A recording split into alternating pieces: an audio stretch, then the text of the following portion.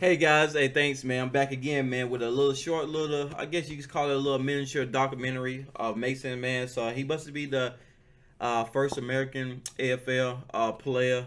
Uh, correct me if I'm wrong. Hey, I'm new to it. I just um, somebody uh, recommend this in the comment section, so I'm gonna check it out, man. See how good this guy is, man. With further ado, man, you already know, man. Hope you shot your shot in life, man. Hey, business relationship goals. Hey, give it a shot. Mm, almost went in. Keep shooting that thing. Hey, with further ado, man. Hey, appreciate your support, man. Let's get into the video. Short little documentary. Uh, definitely let me know other videos that y'all want to see when it comes to this AFL. Hey, I ain't forgot about y'all, man. Let's get into it, man. Let's get into it. Let's get into it. When Mason came to us, no American player had ever played a senior game of AFL footy. It's a one in whatever you want to call it because no one had ever done it. Mason Cox, redshirt senior from Island Village, Texas. He's only played six minutes all year. I went to Oklahoma State University. So I started out playing basketball when I was a freshman.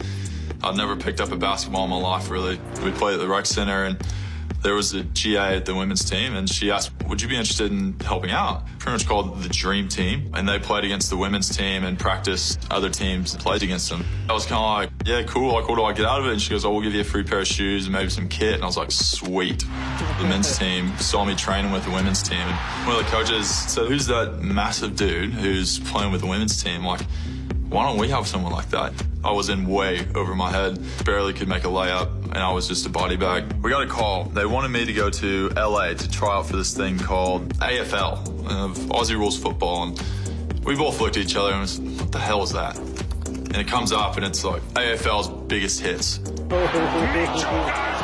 I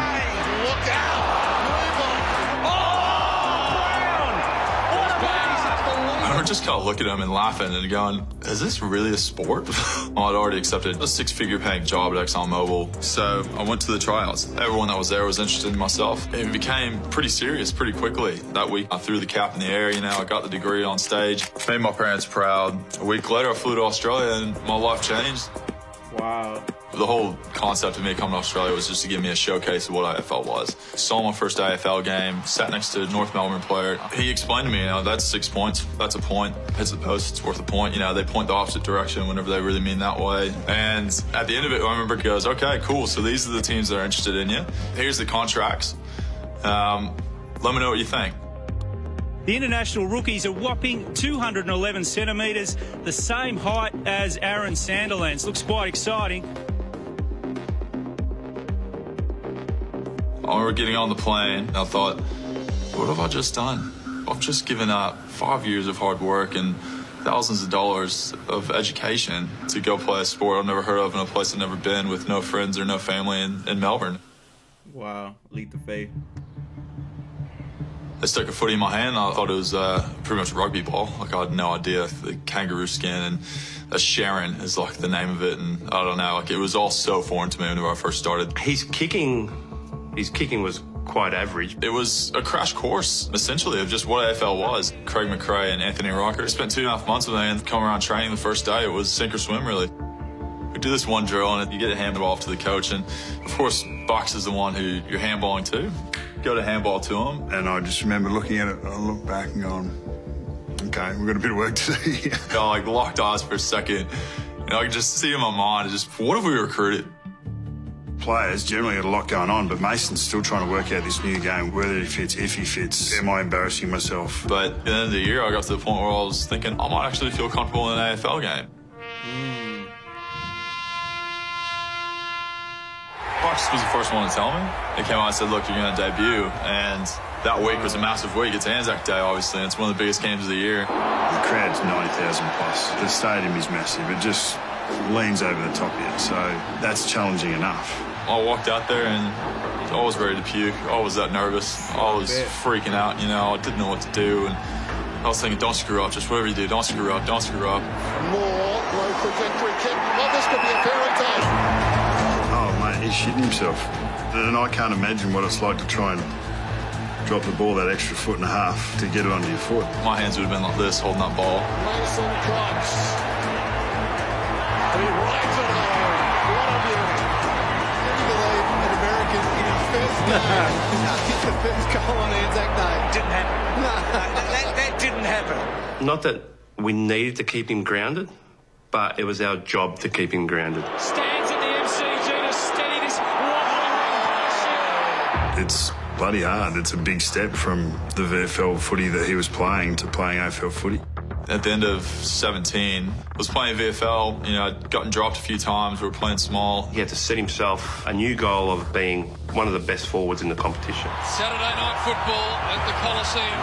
Comes through Cox, drops what he should have taken. Oh, he couldn't quite get at the big fella. Mason Cox here, guys. This was just off the ball. I had the worst game of my career. I can probably say that pretty comfortably. I don't think I had a single mark the whole game and had maybe six touches or something and get suspended for the next week. Probably a low moment in my life, I'd say, of thinking, did I choose the right decision? Look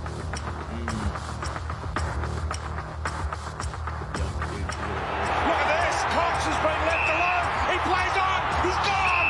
He's gone. Whatever Mason Cox can do as a permanent forward, I suspect Ben Reid can do better. I said, you know what? This is a last ditch effort to show them what you're worth, to show them you can do this as a job. This is your career that you want to do for the rest of your life. What a beast this Tiger has become on and off the field. 22 consecutive wins at the MCG. It's hard to get your head around it, to be honest. We'd played Richmond twice and been overrun twice through the year. This could be the biggest game that Mason Cox never gets a kick in. Prelim final MCG. Matt Stevie holds the ball aloft. Richmond take on Collingwood. It happened pretty early. Sock rocket round straight into the waiting arms of Treloar. Cox is the biggest. It was in. It was clunk, clunk, clunk. Okay, okay. You got a little swag in the They, they just stuck.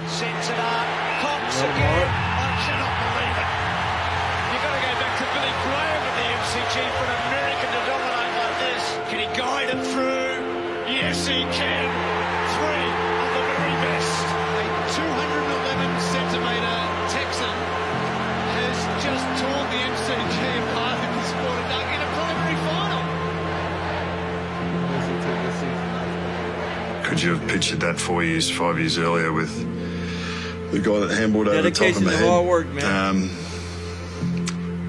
definitely not. And Collingwood will go into the 2018 Grand Final.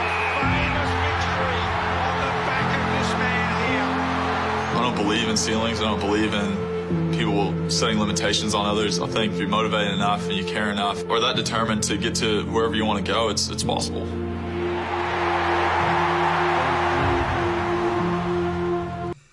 All right, that was it, man. That was a, nice little short little documentary of uh, Mason, man. As you can see from the video, hey, he was from America, went to college, tried basketball, hey, still got his degree to make his parents happy.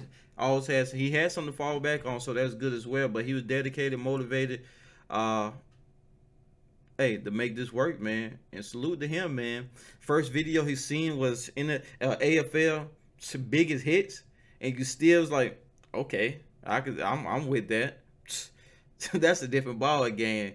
That right there shows you um, that he's ready to take on whatever. Cause while watching one of those videos, boy, a lot of a lot of people would be like, hell no.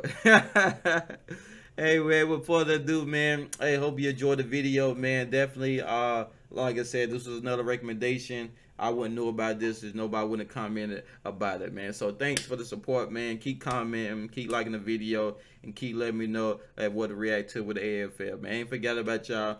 Um, with further ado, man, your first time tuning in, thanks for the support, and I'll catch y'all guys later, man. Thanks for watching.